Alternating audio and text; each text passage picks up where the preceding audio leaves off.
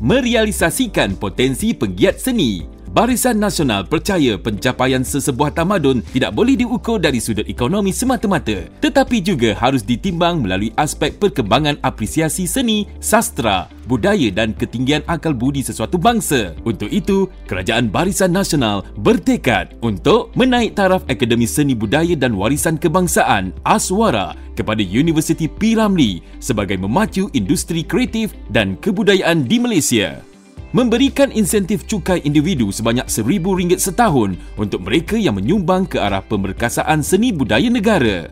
Dana RM3 juta kepada tabung kebajikan penggiat seni TKPS setiap 5 tahun diperuntukkan.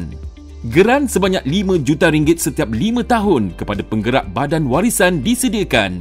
Mewujudkan dana kebajikan sebanyak RM10 juta untuk membantu kumpulan budaya dan industri kreatif mempertingkatkan jumlah geran mikro pengkaryaan Content Malaysia Pitching Center kepada RM10,000 berbanding para sedia ada berjumlah RM5,000. Menyediakan lokasi seperti Wisma Kesenian dan Kebudayaan. Bajet produksi dan pengisian untuk stesen-stesen televisyen swasta akan dinilai semula insya-Allah seni budaya dan kreatif akan menjadi sumber baru pendapatan negara sekaligus membentuk serta mengukuhkan jati diri setiap rakyat Malaysia. Ketahui lebih lanjut di www.najibrazak.com. Bersama BN, hebatkan negaraku.